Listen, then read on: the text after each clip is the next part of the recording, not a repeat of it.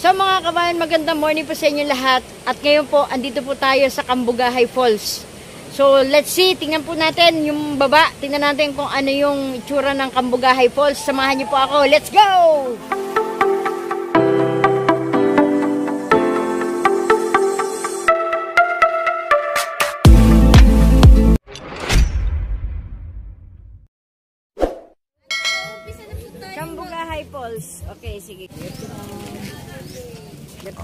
Po. Sexy for my love.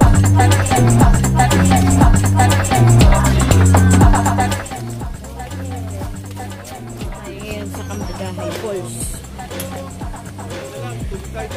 Kaya Davao. Davao.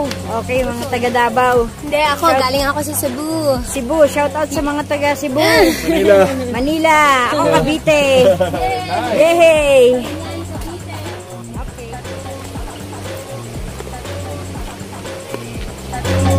Good afternoon.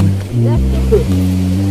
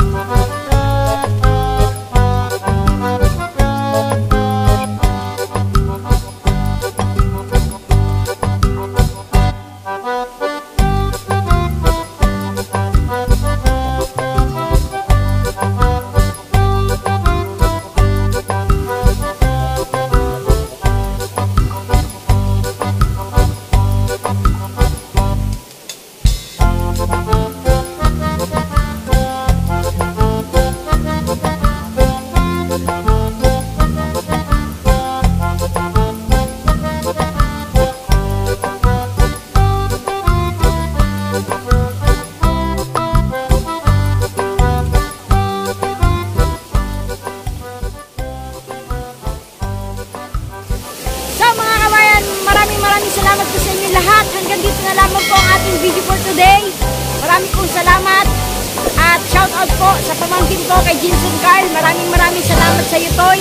Sa pagsama mo sa akin dito sa Sikihor at sa kanyang mga classmates. Maraming maraming salamat sa mga tropa ng pamangkin ko. And don't forget to like and subscribe. And please share this video po mga kabayan. Maraming maraming pong salamat sa inyo lahat. Lagi po tayong mag-iingat. Keep on watching po sa mga i-upload pa nating videos dahil mayroon pa po tayong mga pupuntahan. Shoutout po sa ating mga OFW, sa mga silent viewers po natin. Shoutout po sa inyo lahat. Sa mga kaibigan ko, sa pamilya ko.